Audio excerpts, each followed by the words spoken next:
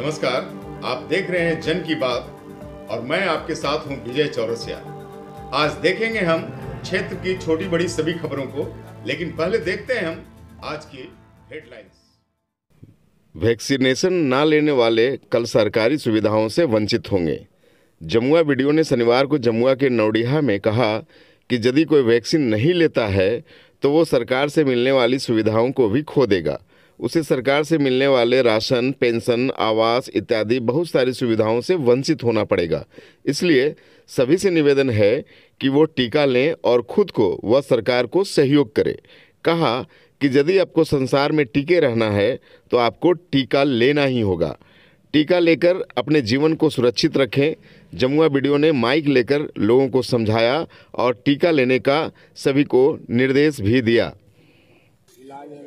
कोई दिक्कत नहीं होगा कोई दिक्कत नहीं एकदम आँख बंद करके लीजिए आप लोग ठीक है? वही पूछ रहे हाँ हाँ कोई दिक्कत नहीं है। आपको किसी भी प्रकार का बीमारी हो डायबिटीज़ हो बीपी हो किडनी फेल हो कोई सूजन हो कोई पेन हो बुखार हो तब पर भी आप लीजिए। नौडिहा पंचायत के गादी खुर्द ग्राम में जितने भी महिलाएँ या पुरुष जिनका आयु 18 वर्ष से ऊपर हो गया है वह सभी से निवेदन है ग्रामीणों से कि आप लोग बढ़ चढ़कर वैक्सीनेशन कोरोना का वैक्सीनेशन का पहला डोज प्रथम डोज ज़रूर लीजिए। और जो पहला डोज ले चुके हैं, जिनका समय पूरा हो गया 84 डेज़ हो चुका है, वह भी अपना सेकेंड डोज लीजिए।